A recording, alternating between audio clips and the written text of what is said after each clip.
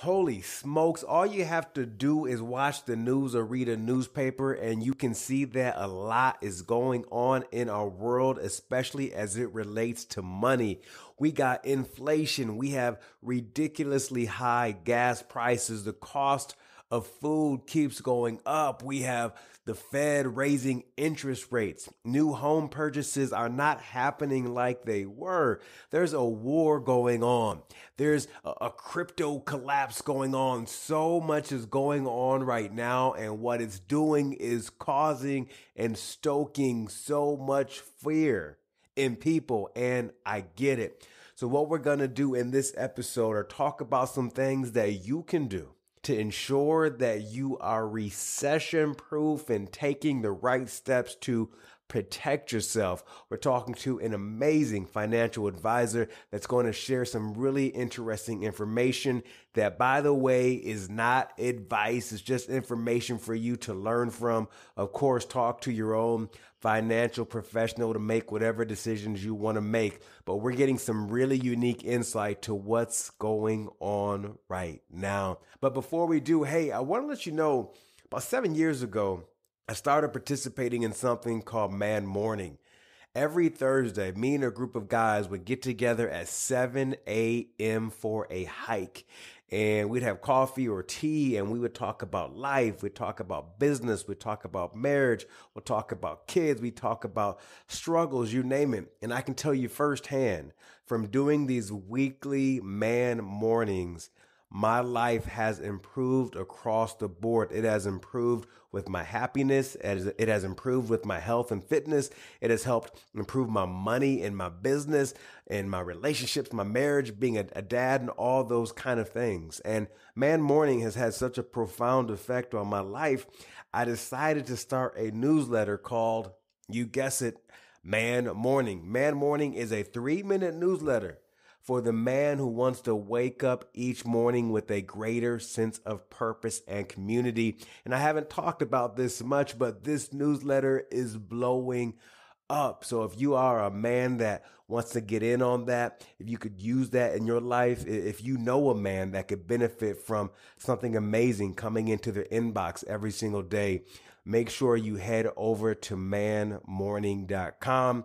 Once again, manmorning.com. It's a free newsletter that's going to have a positive impact on your life. That link is in the show notes. Okay, without further ado, let's get into episode 133.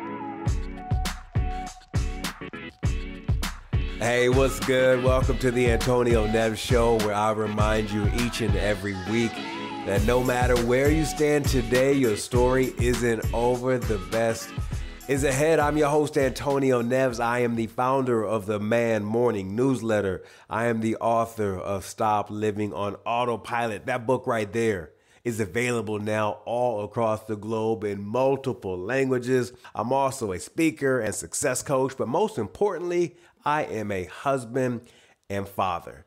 And today, I have a treat for you because joining me for an amazing conversation is Chris Girbés. Chris is the co founder of Five Oceans Advisors, and he is a certified financial advisor. We're going to talk about things that you can do to be quote unquote recession proof with so many different things happening in the world and in the economy right now. Listen, we talk about so many different things that it's going to blow your mind and I know it's going to educate you and it's going to be so helpful. But before we get into the conversation, I want to make sure you know that the opinions expressed in this conversation, in this program, are for general informational purposes only and not intended to provide you with specific advice or recommendations for any individual or on any specific security. This information is only intended to provide ed- provide you with education about the financial industry. We're not selling you anything. So I want to get that disclosure out of the way. If you have decisions to make as it relates to your money, your investments, make sure you talk to a certified financial professional who can support you and guide you and provide you with expertise. This right here is just a conversation. So without further ado, let's get into this amazing conversation with Chris Girbés from Five Oceans Advisors. Chris, welcome to the show.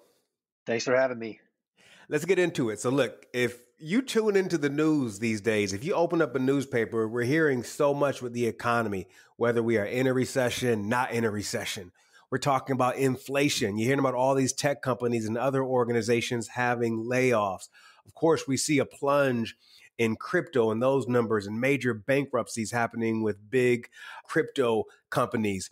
Uh, we regularly are hearing about the Federal Reserve and something called BPS and basis basis points. We're we're hearing about so many different things. My question to you and the work that you do and the clients you talk to, what do you tell people to pay attention to, and what do you tell people to ignore?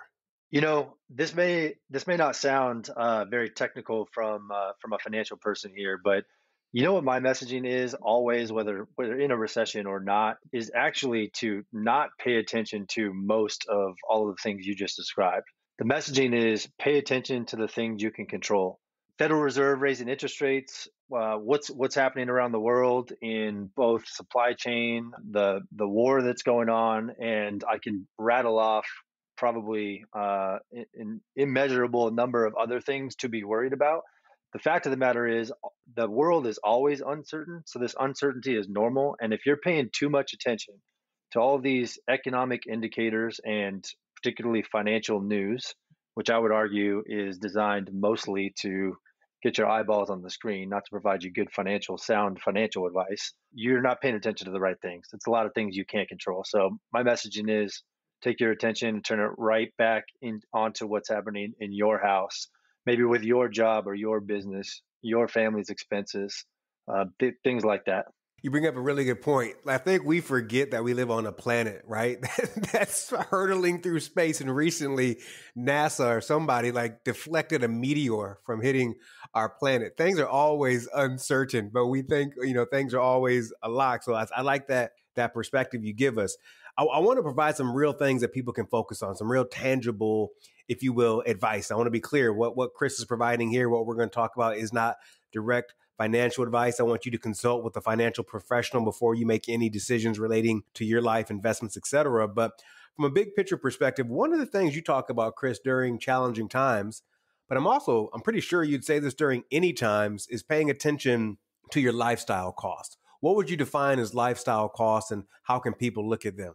Well, this one's kind of a no-brainer. You know, it's it's um, it's the extra expenses that you probably don't need in your life. You you have them, especially when times are good. But look, all the things like all the extra subscription services you've piled up over the years and maybe haven't looked at in a while.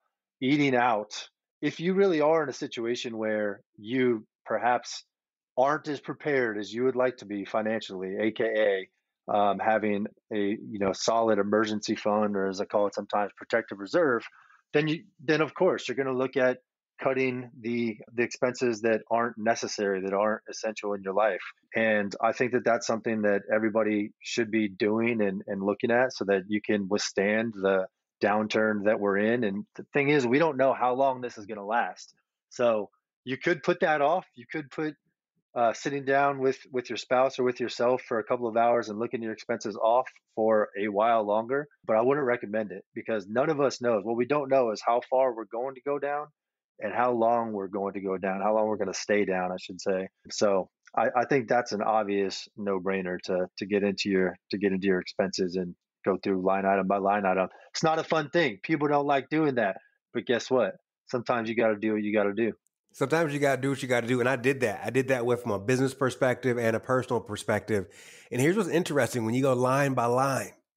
Chris, you find stuff that you forgot that you're paying for. I found a subscription that I wanted to punch myself in the face. I think I was paying $49 a month for something for my business that I had not used in months. Months, but it was there. And I guess the pain point wasn't high enough that I didn't remove it. But to your point, when you take that 30 minutes or 20 minutes to go through some old statements, it's a game changer. You'll find all this stuff that you're no longer using, you no longer need. Also, something else that I found recently, Chris, you know what? For our dishwasher, that store brand cleans those dishes just as good as the brand name. am, am, am I right? Hundred percent. You know, and, and, we're talking about playing defense right now, and there's only so much defense you can play. Cutting expenses, right? The answer is not always just cut all your expenses and stay in your house and don't do anything. I'm a lot more excited about playing offense, which I'm sure we'll talk about here in a few minutes. But look, it the, at the end of the day, it cannot hurt to go through your expenses and get rid of the stuff that really isn't adding any value to your life. Yeah, let's talk about playing to win here in a second. But something you've always advocated, you know, and, and our work working together, Chris, is always stacking your chips, right? Saving that money. And you always talk about having like a, a protective reserve. And uh, what what does a, a, quote unquote protective reserve look like look like for someone? And, I, and to your point earlier, this is something we should be doing regardless of what's happening the in the economy. This is something we should do just in general. 100%. You want to prepare for the storm before the storm comes. So look, fact of the matter is, if you haven't built up a, a protective reserve, emergency fund, whatever you want to call it, before this time, you know, all, all I could say is, look, don't let it happen again. But the the reason why it's so important, it's actually a lot more important than than people think. Even even those that are familiar with an emergency fund or protective reserve. Um, you know, some of the, the standard financial advice out there. First thing you'll hear is save up six months of expenses, right? I think a lot of people just sort of like, okay, that makes sense, and, and just sort of let that go. But here's let me give you a why it is so important to have. And and we're talking about money that is in cash. Yes, it is not meant to make you a big return on your investment. It's meant to protect you during during times like we're facing right now. But why is this so important? Here's a different perspective on this. When you are I'd say for the vast majority of people under 50 years old, the most valuable asset on your balance sheet is your human capital. It's something you can't even see on your balance sheet. That is your ability to get up every day and work and produce income. And that's whether you're an employee earning a salary or whether you own a business, right? And that's a real thing. It is the most valuable asset in your balance sheet. That, and so, what does that even mean? Well, think about all of the future cash flows that you're going to generate by getting up with your human productivity every day over the next years or decades. If you take a present value calculation of all those future cash flows, which I'll explain that here in a second, that is a big number, meaning that compared to if I had a portfolio of investments or a piece of real estate, whatever whatever asset, if I had an asset that was going to spit off this much cash flow every single year for the next, like I said, 20 years, if you're going to work for 20 years longer, how big of an asset or portfolio would that need to be? The answer is really big. It is a very valuable thing. So, what does this protective reserve help you from doing? Well, it helps you from if you were to find yourself in a situation where you need to where, where you lost your job you're looking for for new work if you don't have a protective reserve what's going to happen you're going to freak out money's going to start getting really tight and you're going to go take the next job that is offered to you even if it means a pay cut from where you were before. That pay cut is a big deal. So you didn't provide yourself an opportunity to take your time you know come uh, investigate find the right opportunity at the same income or higher, that pay cut, that that lower cash flow over the next years and decades is is more of a pay cut than than people realize. That human capital is so is so valuable. So that's why it's important. It's important so you don't have to change your lifestyle so much during downtimes, not having to skimp and you know cut everything out of your life. Um, and it's important for for peace of mind. Peace of mind is critical. And you bring up a really good point about how we are our most valuable asset. And I don't think a lot of people view it like that, like our time, our energy, how we spend it. Like we are the most valuable asset, but I think we always look externally as opposed to internally in those situations. And we're going to talk about how in a little bit about the things that we can control when so much is out of our control. We'll talk about that in a second. Going back to this notion of playing offense and, and playing to win, you know, a refrain you'll hear a lot from people in times like these when you see dips in the stock market or say dips in real estate, et cetera. You hear people say, oh, right now I'm going to quote unquote buy the dip, or oh, there's a lot of bargains right now. You, you hear these, you tell me if these are tall tales or not, but it sounds like there are a lot of people historically who have actually got rich during these times that they've earned their wealth, not like immediately, but what they were able to buy, what they were able to invest in times like these. How do you view that? Accurate or a falsehood? Absolutely accurate. You know, when uh, when a recession happens for somebody who is young and in their working years, perhaps in their highest income years, if you're talking about someone in their you know later 40s or 50s, it really a recession, uh, a recessionary period or a market dip, absolutely represents opportunities to buy. And the way you make money in investing, any kind of investing, I don't care what it is, is you buy low and sell high.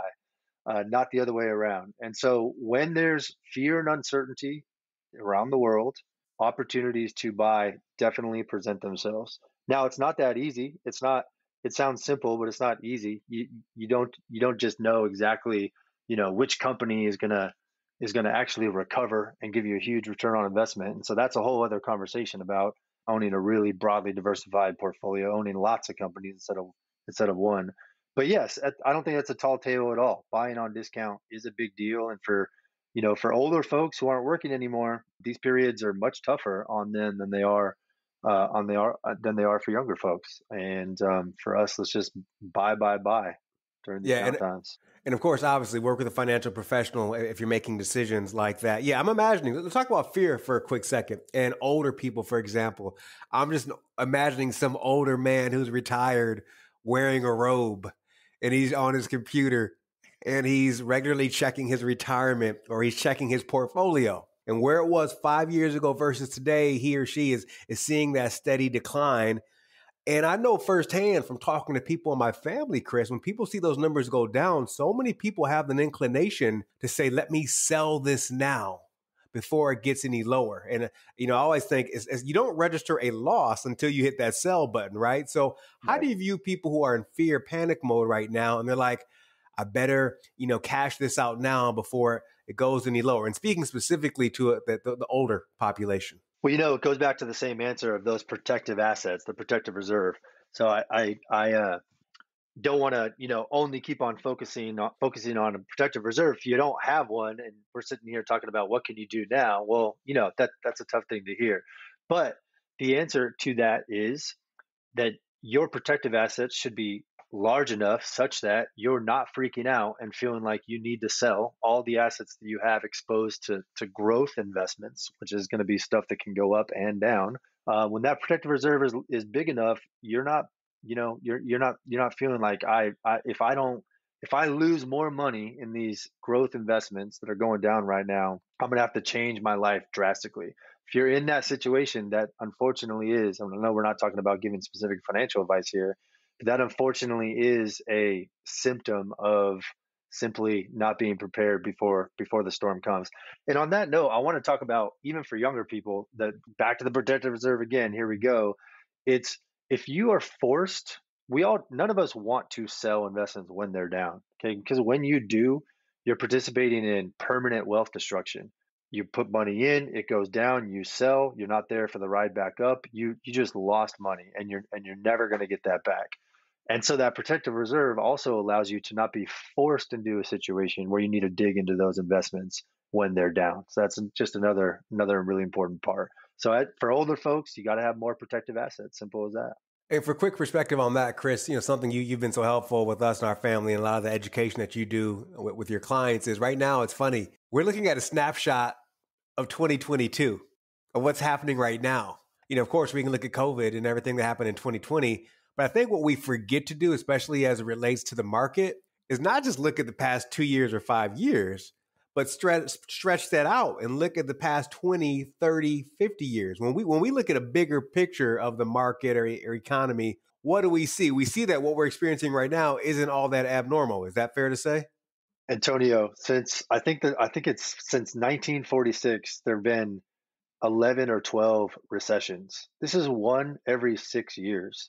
So I completely agree with you. If you're able to zoom out, which by the way, sometimes you need someone to help you do that because it's hard to, you know, it's life, life is hard and it's scary and the world is uncertain.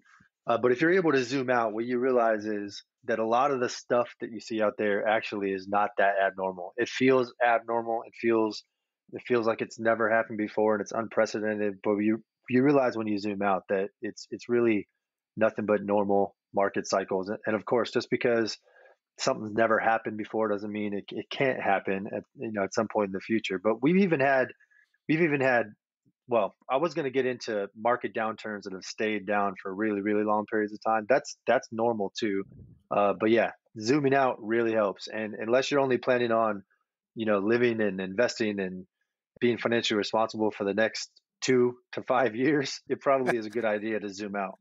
Zoom out at the big picture. Hey, I want real quick. You know, I spend a decent amount of time on social media in my world and the work that I do, and it's pretty much impossible nowadays, Chris, not to be on Instagram or Twitter and more and more on, on LinkedIn. And you're seeing a lot of invitations going out to people. Times are tough. Invest in this course or invest in this service to increase your income to do, you know, just all these, these kind of, I'll call them schemes, if you will, to put some money in your pocket. Would you say in times like these, I think I know the answer. Folks are more susceptible to these these uh, get rich quick schemes than they otherwise would be, and and how do you view how people should look at those? I think folks are more susceptible uh, for the simple fact of desperate times, def- desperate measures, where the worse things get, the more the more you might be looking for a quick fix. But I do want to I do want to separate out one thing you mentioned, Antonio. So courses, for example, my mind just goes to you know self development, and, and I actually I'm a huge fan of that. The reason is, guess what? It goes back to the human capital. If I invest in myself and I even increase my income by thirty thousand dollars, twenty thousand, even five. That, that might not sound like a lot, but again, if I'm working for the next twenty years, which I plan to do, I'm 41. I plan to work for at least that that amount of time. Which, by the way, means that and I hope for most people that uh, that you actually enjoy what you're doing. Mm. But the point is, those little increases over those long time periods adds up to a massive difference in the value of your human capital. So I'm into spending money, even in recessionary periods, into investing in your skill, yourself, broadening and deepening your skill set and your knowledge and things like that. However, the, where I want to make a separation is the start this business and you're going to make all this money and then we're going to give you the testimonials of the people that made $30,000 in their first month. Yeah, absolutely. There's a lot of crap out there and I do worry that during recessionary periods where you know you, you get desperate you start wanting to throw that hail mary and you, you buy the thing that uh, that you can get rich quick and man i see so many of those out there and i just know from experience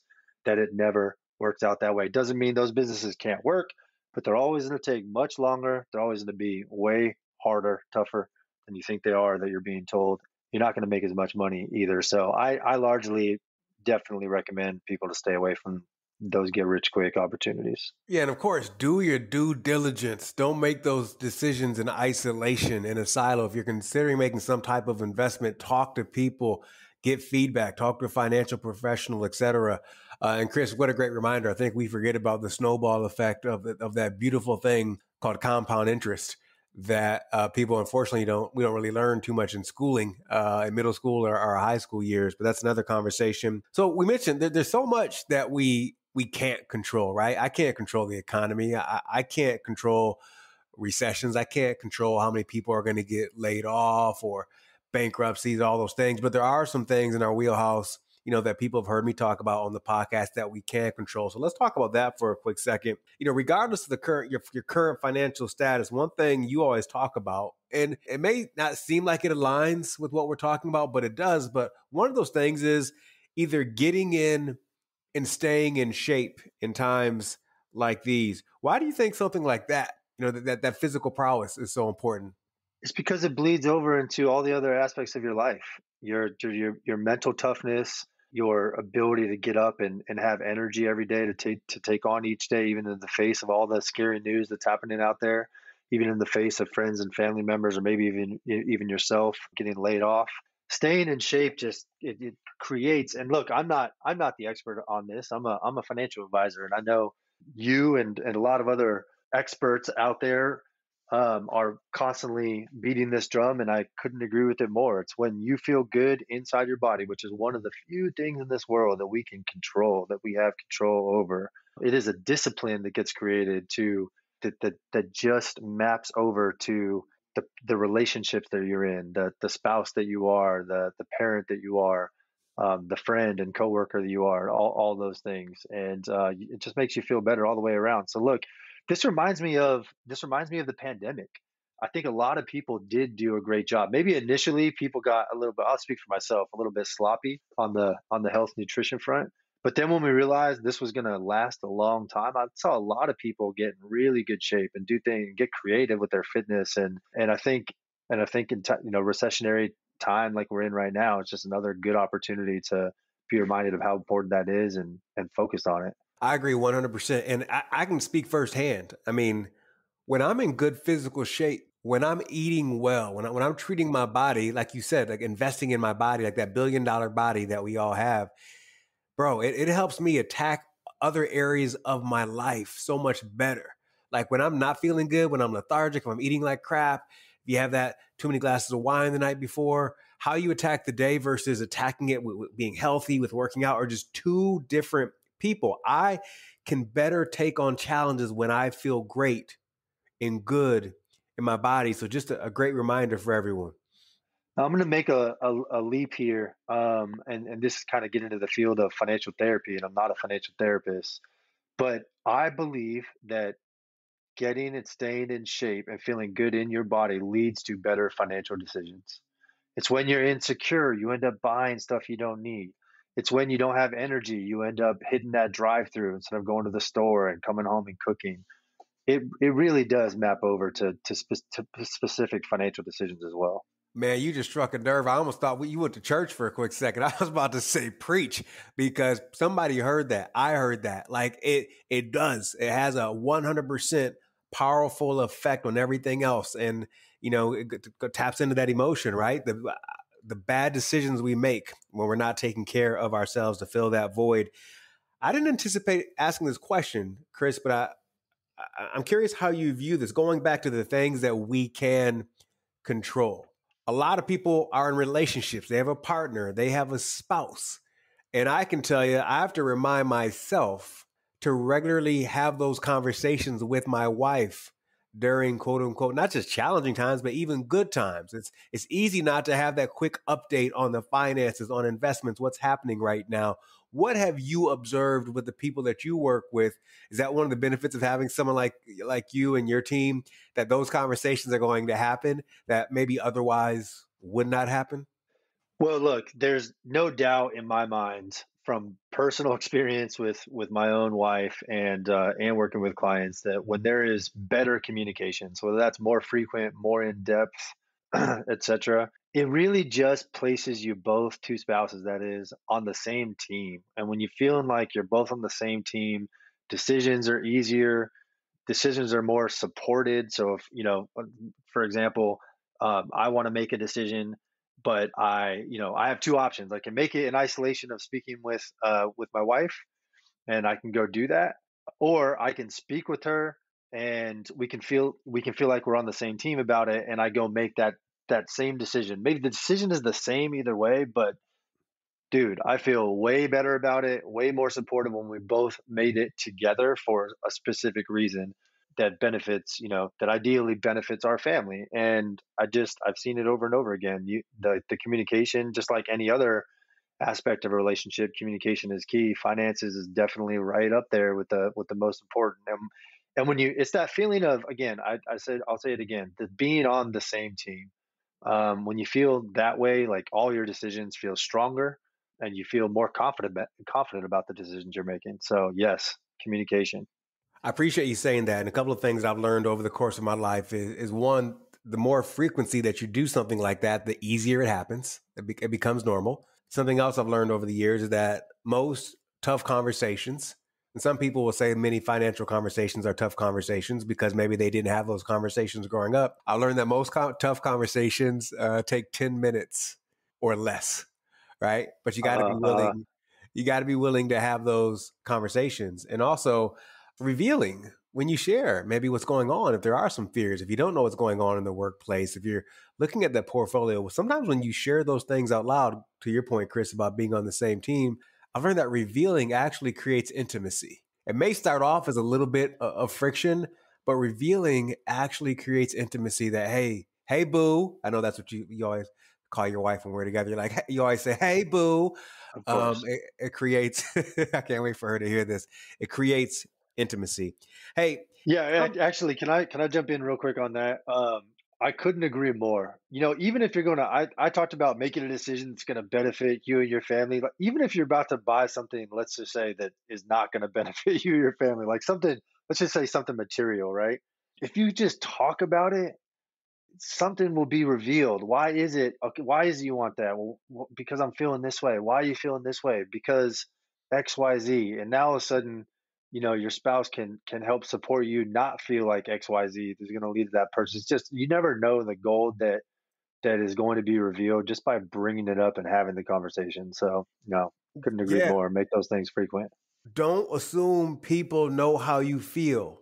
Don't assume people know that you're having a bad day. We have to be vulnerable and be willing to share those things. And a great reminder, and this, this, quote I'm about to share is attributed to a lot of people. The main person it's attributed to is Sigmund Freud, something to the tune of secrets make you sick. Secrets mm-hmm. make you sick. It creates anxiety. It creates acid reflux. It creates a bad night's rest. So be willing to share those things with your spouse, your partner, your community, your family, even if it is a little bit uneasy. Chris, something you know we talked about in advance is during times like these, you, you said something to the tune of make sure, however you're feeling right now, to file this feeling of unpreparedness in your mind, so something like this doesn't happen again. It's like you don't want to experience a, a, a hurricane without a generator two times, right? The first time, first right. time, okay. Second time, you're not catching the kid without a generator. What, what, what more could you add to that? Well, there's going to be a time, hopefully in the not too distant future, but none of us know, where things are going to get easier again, and we're gonna, and it's gonna, we're gonna forget about how we're feeling or what's happening during this during this tough time. So, you know, let's think about by 2013 we weren't talking about what was going on in 2008 and 2009 every day, right? And it's just really easy. And life goes on. You get caught up again, and you're just, you know, you you just forget. The further away you we get from this recession, recession, the less we'll think about it. And um, look, if if you don't feel prepared this time, don't don't let it happen. Don't don't put yourself in a situation to feel the same way ever again. It's kind of like in sports, Antonio. You and I are big football fans. We have a big game this weekend coming up, Michigan versus Ohio State. It's go that blue. it's go blue. Let's go. Um, it's that feeling of when when you lose, don't forget what that feels like because you can use that for to benefit yourself. You can, it's a powerful thing, and uh, I just want to encourage people if you're not feeling prepared right now, if you're going through tough times, um, I I feel for you, and let's try to let's try to make sure that we're not in the situation again. Because here's another thing that I'll tell you: things are going to get better and we're going to forget about this. And this time, how we're feeling right now is going to happen again as well. I said earlier, once every six years. So you know it's coming. It's not if, it's when. So let's prepare. Breaking news. This is going to happen a few more times in your lifetime. Be prepared. I love what you just said. You know, remember how it feels right now. Like even as an athlete, remember how it feels to lose.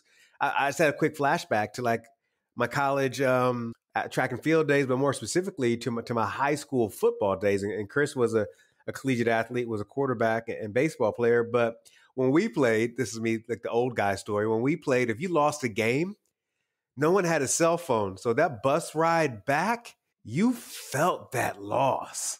And you're like, I don't, you got, you had to feel it and be with it. Nowadays, somebody loses how quickly can they pull out the phone or something or go to Amazon Prime, something or Netflix to distract them from feeling that we need to feel this more?